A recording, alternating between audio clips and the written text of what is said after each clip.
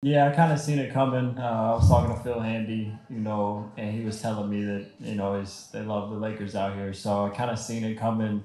And then just you know, it's special for me. Um, you know, I'm you know from a super small town, obviously. Uh, you know, didn't really you know, not a lot of people expected me to be here, um, our country. So for them to accept me the way that they accept me, um, you know, means a lot to me.